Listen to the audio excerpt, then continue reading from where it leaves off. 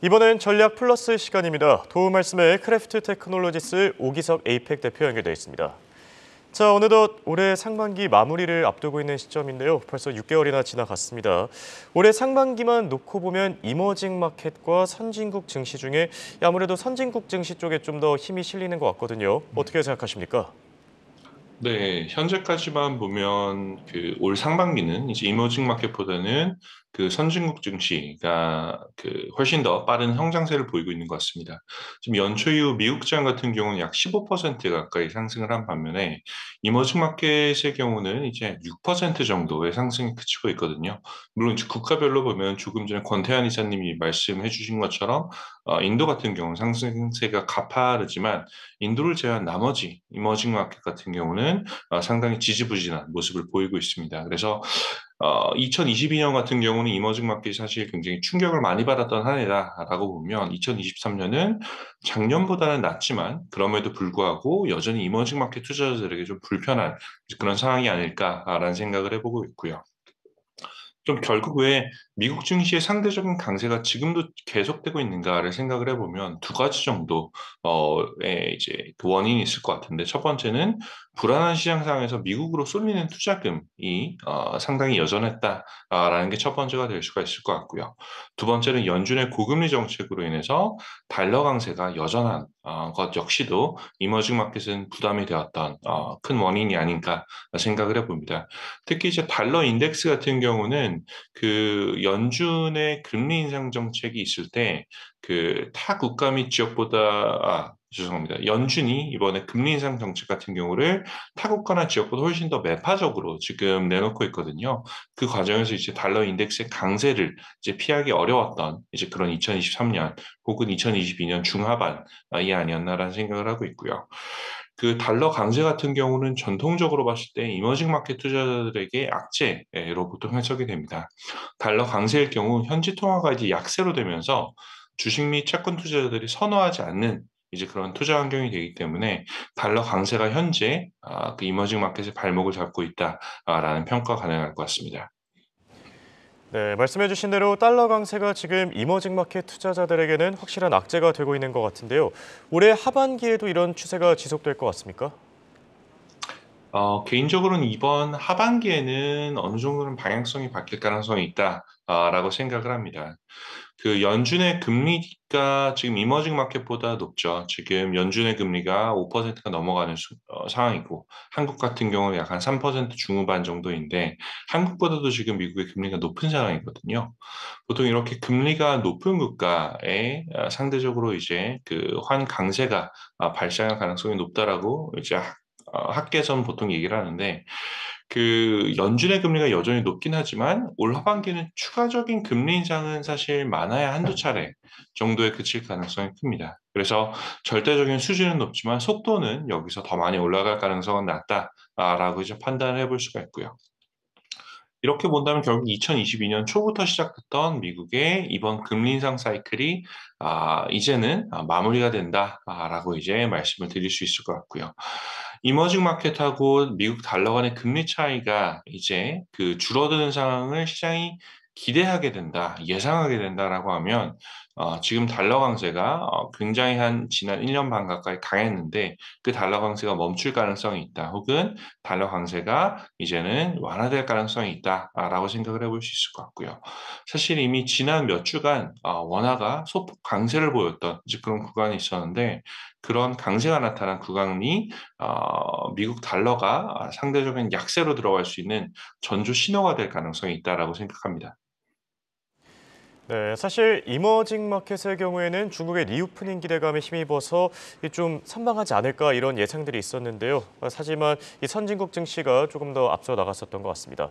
하반기에는 그래도 수익률이 좀 개선되지 않을까 이런 생각도 드는데 다만 중국 경기 예상보다 지금 훨씬 더 빠르게 회복하지 않은 것으로 나타나고 있습니다.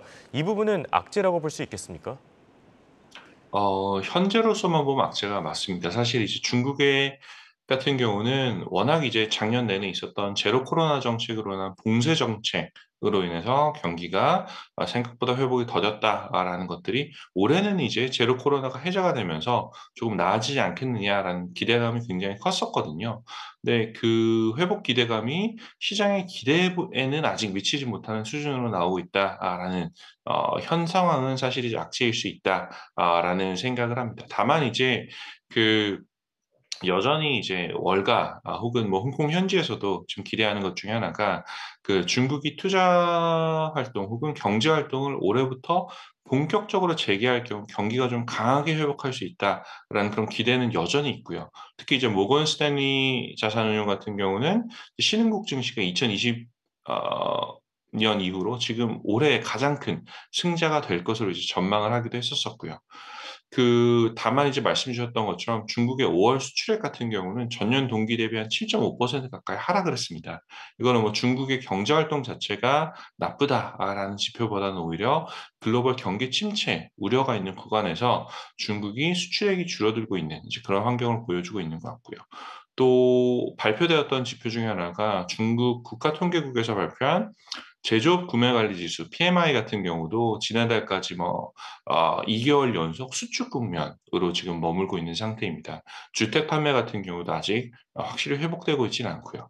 다만 이러한 현상들은 중국 내로만 사실 한정할 건 아니고 현재 전 세계적으로 나타나고 있는 이제 그런 현상이다라는 얘기를 한마디 어, 추가로 좀 덧붙이고 싶습니다.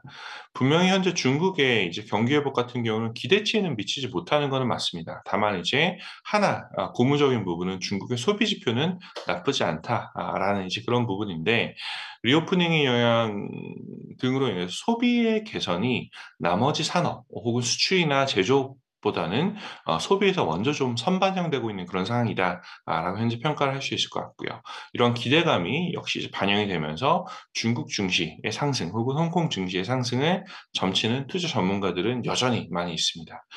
최근에 이제 블룸버그에서 애널리스트들에게 이제 각국 증시의 목표치를 이제 주가 목표, 목표치를 집계를 했었었는데 홍콩 같은 경우는 향후 한 12개월 동안 항생 지수가 한 36% 가까이 오를 것으로 전망이 되고 있고요. 홍콩은 워낙 지금 밸류에이션이 저렴한 상태이기 때문에 이제 하방 위험보다는 상방 위험이 훨씬 높다. 라고 이제 판단하고 있고 중국 같은 경우도 뭐 상해 선전 지수 시가총액 300개로 이루어진 CSI 300 지수 같은 경우는 어, 여전히 한 31% 가까이는 상승할 수 있다라는 전망치 그리고 한국 같은 경우도 코스피 상승률도 전망치가 22% 가까이 지금 어, 전망을 하고 있습니다. 현재 월가에서 미국의 증시 상승폭 같은 경우는 지금 한 자리대로 굉장히 이제 현재 많이 올라왔다라고 판단을 하고 있는 게 어, 현재 컨센서스거든요. 그것과 비교하면 현재는 홍콩, 중국, 한국을 포함한 이머징 마켓 쪽에 그 상승 가능성에 조금 더 많은 이제 베팅을 하고 있는 그런 상황입니다. 네, 이머징 마켓 투자자들 확실히 하반기에는 조금 기대를 해봐도 될 것 같고요. 혹시 크래프트 테크놀로지스 AI 모델은 현재 상황을 어떻게 평가하고 있습니까? 네, 현재 아직 저희 AI 모델에서 이머징 마켓에 대한 투자를 뭐 늘려라라고 하는 유의미한 변화는 아직은 없습니다. 어, 실제로 데이터의 변화가 나타나야 저희 AI 모델도 새로운 시그널을 내놓지 않을까라는 생각이 들기도 하고요. 마치 연준이 이제 데이터 기반의 의사 결정을 하는 것처럼 저희 AI 모델도 데이터가 이제 바뀌어야 이제 새로운 의사 결정을 하게 되는데 다만 이제 그 분명하게 좀 말씀드리고 싶은 건 최근 이제 중국 홍콩 증시 둘러싼 이제 비관론이 굉장히 강하게 있는 건 맞지만 좀 과도하다라는 이제 개인적인 의견을 좀 드리고 싶고요. 그리고 이러한 비관론이 그 중국과 홍콩의 경제적인 기초 여건을 정확하게 반영하는 것도 사실 아니기도 합니다. 특히 이제 가장 큰 우려가 됐던 것 중에 하나가 미중 간의 갈등이 이제 제일 큰 디스카운트 요인 중에 하나였거든요. 다만 이제 현재 미중 간의 갈등 같은 경우는 이번에 어, 어느 정도 좀 봉합의 가능성을 지금 보이고 있다라는 것도 디스카운트가 해소될 가능성을 이제 한번 생각해 보게 하는 상황이 되는 것 같습니다. 그리고 또 하나 이제 뭐 별건이긴 하지만 최근에 활동을 그 재개를 하면서 어, 왕성한 활동을 다시 하고 있죠. 그 알리바바의 마윈 같은 경우도 지금 공개 활동을 재개를 하고 있는데 이 역시도 어떻게 보면 중국이 기술 기업에 대한 규제가 강하게 들어갔던 것이 이제는 좀 해소되는 어, 국면을 기대해봐도 되는 것이 아닌가라는 생각을 한번 해볼 수 있을 것 같기도 하고요. 지금 뭐 향후 중국 정부의 경기 부양책으로 알리바바 등 좀 소비자 대상 으로 한 이제 IT 기업들이 수혜를 볼 가능성이 높다라는 그런 분석들도 현재 나오고 있는 상황입니다.